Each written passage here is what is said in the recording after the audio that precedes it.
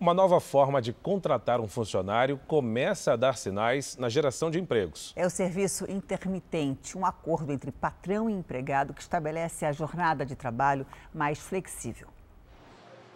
O Maître Charles não trabalha todos os dias por aqui. Ele vem só quatro vezes por semana e nem por isso é um bico. Ele é contratado pelo restaurante. Nos outros dias, Charles tem outra atividade no setor de informática e tudo está legalizado. A minha folga, como a, a, minha garantia de, eu digo, em termos de salário maior, eu consigo até agora também pagar um convênio. Eu não, eu não tinha nada disso antes, entendeu? Então, eu me programando com o restaurante, com o Trencadiz, eu me programando e tenho esses dois dias de folga, eu consigo também ter uma demanda de um salário melhor.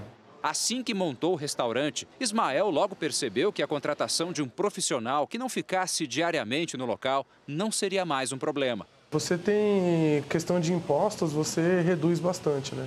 Porque você tem um contrato de trabalho com o MEI e aí você paga diretamente o valor completo para ele e ele se preocupa com o imposto dele.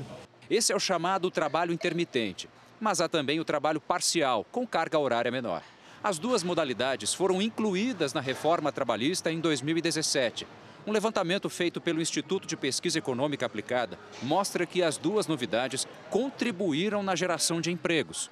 Segundo a pesquisa, durante esse período, o país criou 507 mil novos postos formais de trabalho. E essas jornadas, antes conhecidas como bicos, foram responsáveis por 15,5% dessas vagas, o que representa mais de 78 mil pessoas que passaram a ter carteira assinada. Este especialista diz que a maioria das oportunidades está no comércio, no setor de vestuário e de alimentação. Você está tirando pessoas da informalidade que, sem essas modalidades, não teriam como ingressar para o mercado de trabalho com carteira assinada.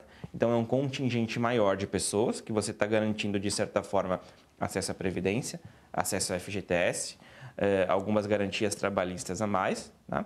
e que, obviamente, não teria essa condição se ele tivesse 100% na informalidade. O Charles está satisfeito e, pelo jeito, mais tranquilo. Hoje em dia, como eu tenho um trabalho de quinta a domingo, eu consigo exercer minha função paralela, que é de informática, eu consigo levar meus filhos na escola, na academia e eu consigo viver melhor.